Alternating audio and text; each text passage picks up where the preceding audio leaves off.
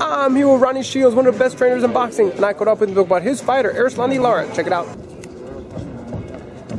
Time Lewis. So, Ronnie, you're a real hands-on coach. You do everything. Of course, man. That's my job. Well, why do you love boxing so much? Because I see you in the smaller shows with the fighters that are just starting. I see you in the major shows like this weekend in LA. A week later, you're here with Erislandy Lara. You love it. I love it because, you know, I mean, this is what I grew up in, you know. Uh, people are trying to downgrade the sport, and I'm not going to let that happen, you know. I don't, you know, whether you're a small guy, you're a big guy, it don't make a difference, you know. Whether you 1 and 0 or 0 and 10, it don't make a difference. You know, you could be 50 and 0, it don't make a difference, you know. If I feel you have potential, I'm going to work with you. That's just, that's who I am. That's the way I am. Even though you train very talented fighters and they have amazing records, you personally don't get always the recognition that some other trainers get when they talk about the bet. Why is that, do you think? I mean, the proof is you train guys and they do well.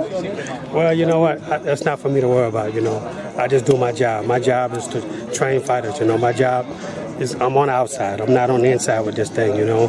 I mean, you know, people see, they recognize, hey, you know, if you recognize it or not, it don't make a difference to me, you know. I'm still going to do it. It's not going to make me stop doing what I'm, I'm doing, you know. And, you know, I get calls all the time. I don't take every fighter because I don't have the time to take every fighter, but I get calls from a lot of big guys too, not just the smaller guys that people don't hear about. But, you know, I'd rather work with somebody who I, who I feel I can get along with, who, who I'm a, you know, who I know I can work with, you know. Hey, and, you know, if we turn out champions, that's fine. We have a young gentleman over here, Erislandy Lara, extremely talented. I just saw he looks like he became much stronger now since his last one because he, has been working out well. Tell me about that, his improvement. Well, you know, we, we're sitting down more on punches now. You know, this is why you're going to see a lot more knockouts because he is sitting down more on his punches.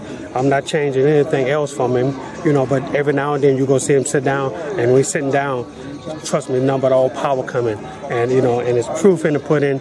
Look at, you know, of his last seven fights, six been first round knockouts. So it's all, it's proven all the time. There's talk that he may be the next opponent for Canelo Alvarez. I know we don't want to jump the gun because you have your, your big fight right here, but well, is that something that you guys would want if it came up? All it is is talk, okay? That's all. Nothing more than talk you know, and there's people on the outside that's talking, not the people that count is talking. So it doesn't make a difference what we think or what we say. You know, it's not going to happen. That's just simple as that. You know, they're not going to put Canelo and Lara at this moment. You know, sooner or later it's going to have to happen. But look, our job is to just keep doing what we've been doing, and that's winning, and winning impressively. And then sooner or later, that demand is going to happen. It's going to come. So, but if it don't happen this fight, we're not worried about it. You know, we have a Freddy Hernandez to think about on Saturday night. Tough, that's tough, all we thinking tough about. opponent. Absolutely. How are you guys gonna gonna beat him or stop him? Hey, you know, you know, our job is just to go in there and do do our business, you know, and to look good doing it, and to show the skills that Erislandy Lara has, and you know, that's all we go do. You know, we're not worried about whether we knock him out, we go to a decision. The most important thing is him being impressive, the way he's always been impressive in every fight. So that's all that matters. Nothing I, else matters. I noticed when you do a mitts with them, sometimes you give instruction in English, sometimes you give him in Spanish, and he understands both. So yes. I see you're, I'm impressed with your Spanish. Well, you know, I'm just trying to you know, we try we talk to them in, in, English also to try to get them a better understanding. And it's coming, you know, it's coming slowly but surely. But look, we have no problems in the gym with, uh, with talking to each other. You say so, understand? Yeah, absolutely. now, what, what, do people should what should people know about Erislandy Lara? Because we just know the boxer. You know him as a human being. What can you share with us? He's a great family man. You see, he's got his wife with him. You know, Hola. you know, they got two kids together, and you know, he's a family guy. You know, and he moved to Houston so we could, you know, have more time to, to work with each other. So, you know, that lets you know he's dedicated to the sport of boxing. And, you know, you know, he was in Miami at first and you know, he said, you know what, I got to be with my, where my trainer is. So he moved to Houston. How far do you see him going in the sport now that he's with you and you're working together? And well, I, I think sky's the limit. You know, as far as you know, look, we feel he could beat anybody. We've been challenging people, but of course we have to fight out out of our weight. We people are the only guy right now who has to fight out of his weight in order to get a fight. You know, and it's crazy. Now we finally found somebody who's moved up in weight, who's willing to take the challenge, and that's Freddy Hernandez, who's a very good fighter. You know, so you know, we just got to keep, you know, just got to keep, when they put him in, we got to knock him down. And, you know, and then keep on going. And then sooner or later, not only the public will demand it, but television will have to start saying, you know what, you know, this kid deserves a chance. You know, he deserves a shot at the big time. So sooner or later, it's going to happen. When it happened with Paul Williams, everybody saw. You know, everybody saw. Even the TV saw.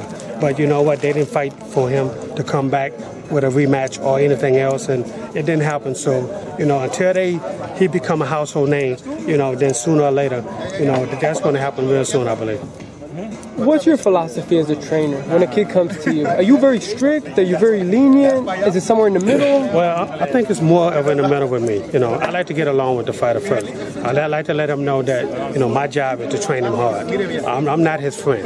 You know, I'm not. I'm not the friend at all. I'm, you know, I'm a, I could be the friend outside of boxing, but I can't be the friend inside of boxing. You know, because then he won't respect me, and I won't probably won't have no respect for him. So, you know, it's all about keeping the respect level going. And I hardly ever hang out with any of my fighters, you know. But, you know, but we do have a relationship in the gym. And with me being a teacher and they being a student. And it's always worked for me. I've never had a problem with a guy. So, you know, I'm just want to keep it going that way. Any message to your fans Erislandy Lara fans if they're watching right now? Hey, tune in on Showtime on Saturday night because, you know, Lara's going to put on another stellar performance. There you have it. Ronnie Shields, one of the best in the business. Look out for him, of course, Erislandy Lara. If he is. I'm Elie Seckbach reporting.